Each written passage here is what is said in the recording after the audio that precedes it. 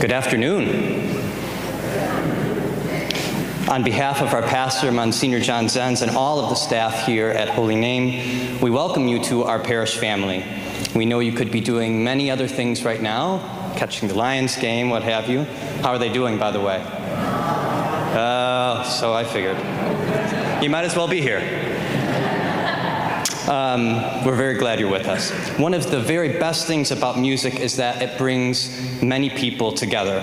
It crosses boundaries of language, nationality, time, and, the, and in the case of the Requiem that we are about to experience, even the boundary of death itself. And how important it is in this current climate of disintegra- disintegration of us versus them, of left versus right, of native versus foreigner, to remember and celebrate the things that connect us, that make us one. Behind me, we have a perfect example of this, as many have come together as one for this musical venture. We have three choirs here today. Uh, returning to Holy Name is the choir from St. Mary of the Hills under the direction of Daniel Gregg. Uh, we're also very pleased to have with us the choir from St. James Episcopal Church, right here in downtown Birmingham on Maple Road, under the direction of Glenn Burdett. And of course, the stalwart Holy Name Choir. Uh, not to mention these fine instrumentalists from all over Metro Detroit.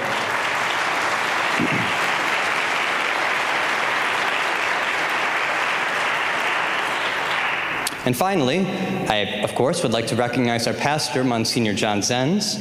Uh, without his support, uh, we could not have this event happen. And uh, he will also be providing for us some historical and spiritual context for our shared journey through John Rutter's Requiem. So I will now hand it over to him.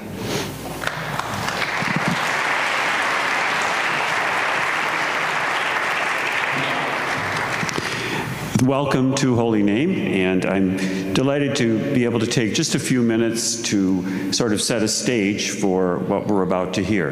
And in doing so, I would also like to uh, acknowledge all of you. I've, I've, seen you here many times over the last few days, and I know how much uh, time and energy you have put into all of this, and I know you do it with love. So thank you for your dedication.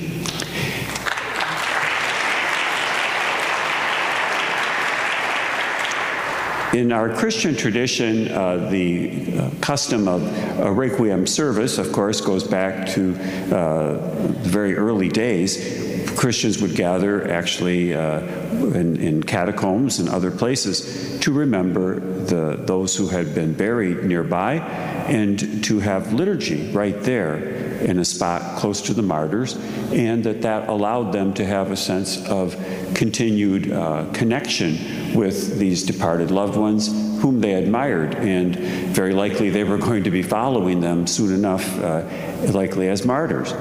And so uh, the custom of to, to gather for prayer, to pray for the dead, was also to be um, strengthened by their witness and to be encouraged that we can face these uh, traumas too, and that somehow we will build on what has been uh, done for us and the sacrifices that others have made.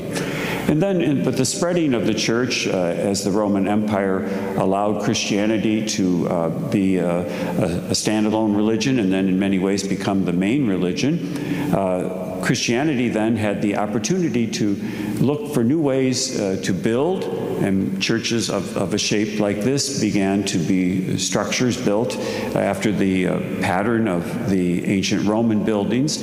And then uh, those kinds of buildings allowed for many voices and people to come together in a dramatic way.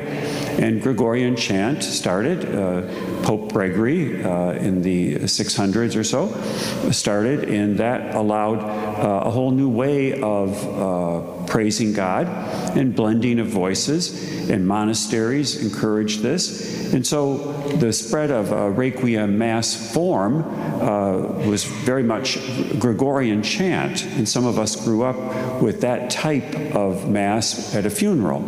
And there was a certain flow to it, at the introit, and then the Kyrie, the Dies Irae. And some of us can remember perhaps serving at Masses with the, the Dies Irae. And even though there might not have been timpani or, or trumpets or anything, it was very ominous and day of wrath, day of mourning, and, and there was a heaviness and uh, black vestments, and uh, the coffin was, even if there wasn't a, a, deceased person, there was a catafalque created with the large candles. And uh, as, as, young people, some of us might re recall those years back uh, in the, the 30s, 40s, 50s, whatever generation you might be from, uh, certainly up to Vatican II.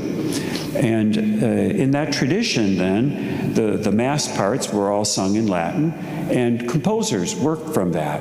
And as the Middle Ages gave way to more creative times, uh, we had people like Bach and Mozart coming up with requiems, and then Verdi's requiem, very, very famous. And later you'd had people like uh, Brahms and Duruflé. And, and, then in more recent time, people like Benjamin Britten, Andrew Lloyd Webber, Karl Jenkins, uh, Gabriel Fauré I was earlier. And uh, last year, here we had Requiem for the Living.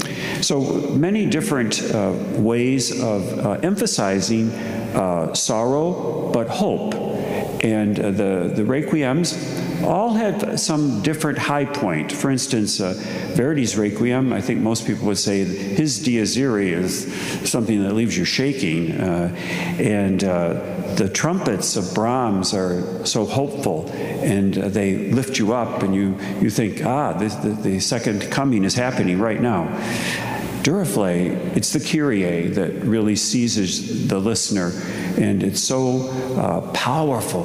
The, the surge of the Kyrie rising up with confidence and asking God for mercy. And uh, Benjamin Britten, of course, the War Requiem and the, the quest for peace. And each one of them have a different uh, style. Many of us know the Andrew Lloyd Webber and the, the Jesu from there that's so uh, moving and touchy.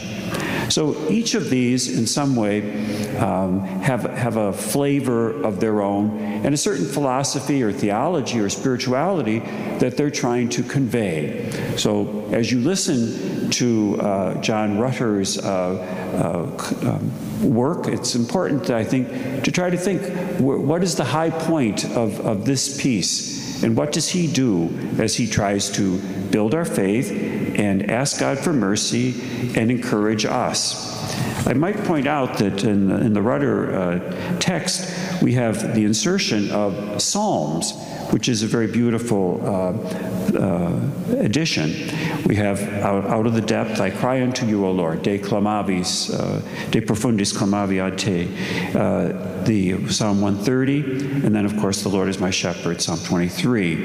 And even with the text of things like the Agnus Dei, uh, Rutter has inserted some, some other prayers out of the uh, uh, Episcopal uh, Book of Common Prayer. So we have uh, some uh, interesting and beautiful music to listen to.